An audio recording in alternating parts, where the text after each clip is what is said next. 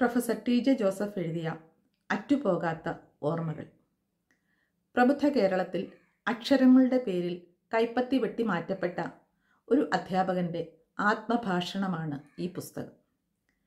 പരീക്ഷാ ചോദ്യക്കടലാസിൽ ഒരു പ്രത്യേക മതവിഭാഗത്തിൽപ്പെട്ട പേരുകൾ ഉപയോഗിച്ചു എന്ന കുറ്റത്തിന് വ്യക്തിജീവിതത്തിലും അധ്യാപക ജീവിതത്തിലും സമാനതകളില്ലാത്ത അനുഭവങ്ങളിലൂടെ കടന്നുപോയ കാലങ്ങളെ അദ്ദേഹം ഇതിൽ ഓർത്തെടുക്കുന്നു.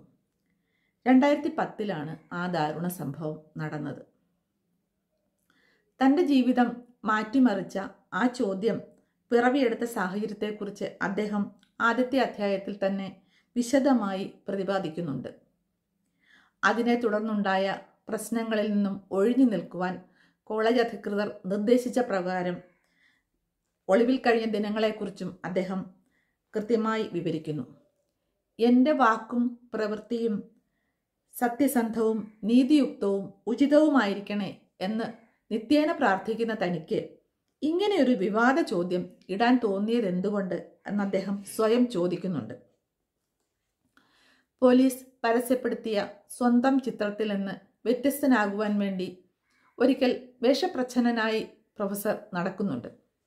അപ്പോൾ ഒരു ബസ്സിന്റെ ബോർഡ് വായിക്കാനാകാതെ നിന്ന അദ്ദേഹത്തോട് വായിക്കാൻ അറിയാത്തവൻ എന്ന് ഒരു- വ്യക്തി ചോദിക്കുന്നതൊക്കെ വളരെ നിസ്സംഗതയോടെയാണ് പ്രൊഫസർ ഈ പുസ്തകത്തിൽ വിവരിക്കുന്നത്. ഈ സംഭവം മാത്രമല്ല പലപ്പോഴും മാറി നിന്ന് സംഭവങ്ങളെ വീക്ഷിക്കുന്ന ഒരാളുടെ നിർമ്മമത്വത്തോടെയാണ് പ്രൊഫസർ ഇതിൽ സംഭവങ്ങളെ വിവരിക്കുന്നത്. റിമാൻഡ് ചെയ്യപ്പെട്ട അവസരത്തിൽ സഹതടവുകാരുടെ അപേക്ഷാപ്രകാരം ചോദ്യം തയ്യാറാക്കിയ സാഹചര്യത്തെക്കുറിച്ച് അദ്ദേഹം അവരോട് പറയുന്നുണ്ട്. അവസാനം പോക്കറ്റടിക്കാരനായ വെറും രണ്ടാം ക്ലാസ് വരെ മാത്രം പഠിച്ച ജബ്ബാറിന്റെ ചോദ്യം ശ്രദ്ധേയമാണ്. ഇങ്ങനെയൊക്കെ ആൾക്കാർ പെരുമാറാൻ തുടങ്ങിയാൽ കഥയും നാടകവും സിനിമയും ഒക്കെ എങ്ങനെ ഉണ്ടാകും എന്നാണ് അയാൾ ചോദിച്ചത്.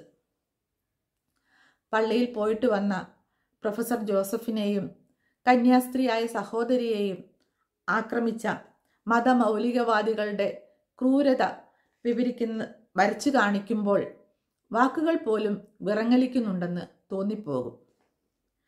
രണ്ട് ഭാഗങ്ങളായി എഴുതിയ പുസ്തകത്തിന്റെ ആദ്യ ഭാഗം അവസാനിക്കുന്നത് പ്രൊഫസർ ജോസഫിന്റെ ഭാര്യ സലോമിയുടെ ദാരുണാന്ത്യത്തോടെയാണ്. ആ മരണത്തോടെ പകച്ചുപോയ കോളേജ് മാനേജ്മെന്റ് കടുപ്പിടുത്തം ഉപേക്ഷിച്ച് അദ്ദേഹത്തെ തിരിച്ചെടുക്കുവാൻ തീരുമാനിച്ചു. ഒന്നാം ഭാഗം വായിച്ചു കഴിയുമ്പോൾ വായനക്കാരന്റെ മനസ്സിൽ ഉദിക്കുന്ന ചോദ്യം കൈവെട്ടിയ അക്രമകാരികളോ അതോ അദ്ദേഹം അംഗമായ സഭാ മേധാവികളോ ആരാണ് അദ്ദേഹത്തെ കൂടുതൽ വേദനിപ്പിച്ചത് എന്നുള്ളതാണ്. ആദ്യ ദിവസം തന്നെ അദ്ദേഹത്തെ തള്ളിപ്പറഞ്ഞ് എരുതിയിൽ എണ്ണ ഒഴിക്കുവാനാണ് കോളേജ് മാനേജ്മെന്റ് ശ്രമിച്ചത്. ഗവൺമെന്റും യൂണിവേഴ്സിറ്റിയും അനുകൂലമായി വർത്തിച്ചിട്ടും ഭാര്യയുടെ ആത്മബലി കഴിയുന്നതുവരെ അവർ അദ്ദേഹത്തെ തിരിച്ചെടുത്തില്ല.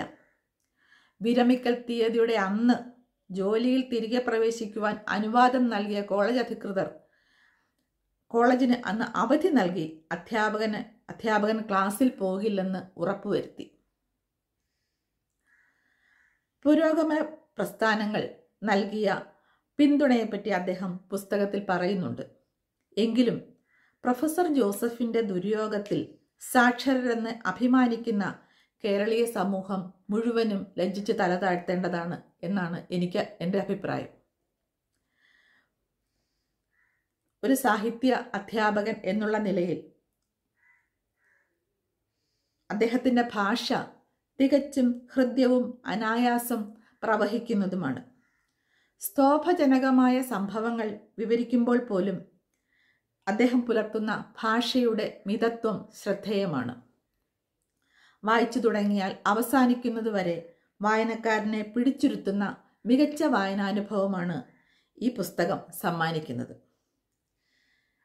മികച്ച ആത്മകഥയ്ക്കുള്ള രണ്ടായിരത്തി ഇരുപത്തി ഒന്നിലെ കേരള സാഹിത്യ അക്കാദമി പുരസ്കാരം ഈ പുസ്തകം നേടുകയുണ്ടായി. ഡി സി ബുക്സ് പ്രസിദ്ധീകരിച്ച ഈ പുസ്തകത്തിന്റെ മുഖചിത്രം എടുത്തു പറയേണ്ട ഒരു സവിശേഷതയാണ്.